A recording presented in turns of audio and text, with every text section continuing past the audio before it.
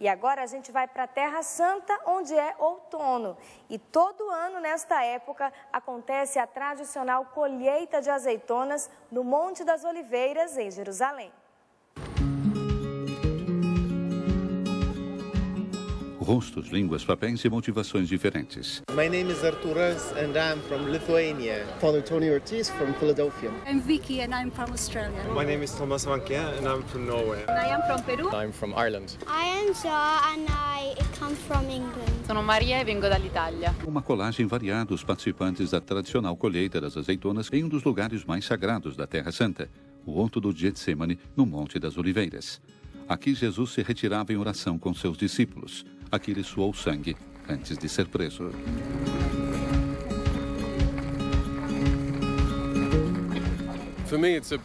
É um grande privilégio. É a segunda vez que venho e é muito especial a oportunidade de estarmos ao ar livre em um jardim tão extraordinário que tem muita história espiritual e política. Estarmos na sombra da cidade velha e da Santa Esplanada.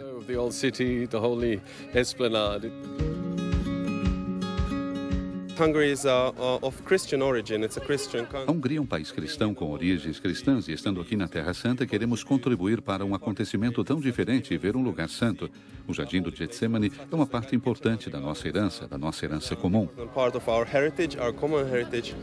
Quest'anno ci siamo dati uno slogan molto semplice che esse ano escolhemos um slogan muito simples, compreensível para todo mundo: conectarmos com o lugar. Todo mundo procura a conexão, a senha. Aqui para nós a senha é vivermos uma comunhão com o lugar. Unione com o luogo. I think this is really a Creio que seja um trabalho de equipe que expressa o modo como a humanidade precisaria trabalhar. Juntos, vamos chegar longe. Should work together. Together, we come I. E assim, caminhando entre as oliveiras, não é estranho ver um diplomata trabalhar ao lado de uma freira, uma voluntária a poucos metros de dois irmãozinhos. É o terceiro ano seguido que os franciscanos abrem as portas do santuário do Getsemane a quaisquer pessoas interessadas em ajudar, e a esperança é que se torne um compromisso habitual, oferecendo inclusive a quem participar a oportunidade de uma experiência inesquecível.